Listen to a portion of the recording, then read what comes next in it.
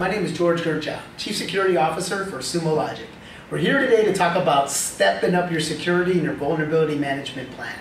We currently formed a partnership with HackerOne where we're doing active bug bounties on a quarterly basis. Uh, we treated them more like penetration tests at first, but with the unconventional way of hacking uh, into our Sumo Logic service. Now, there's a lot of folks uh, that are get a little bit nervous about this and think, wow, you're starting to hand the keys of the kingdom off to the hacking community. But in reality, it makes you step up your security posture.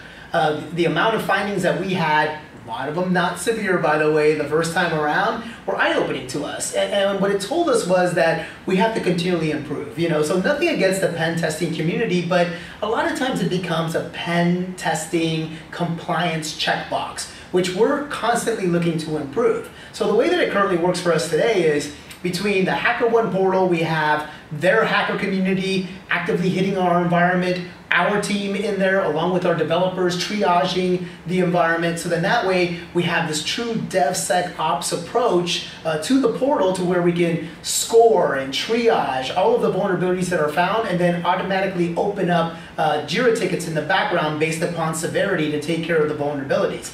Now, the extra step we've taken beyond that is we're sharing the results of our bug bounties with our customers and prospects that have active Sumo Logic accounts through our self-service portal. So moving into this new era of cloud security, transparency is key besides the continuous improvement. So expect to hear more from HackerOne and Sumo Logic at Black Hat 2018. Again, my name is George Gerchow. Look forward to speaking with you soon.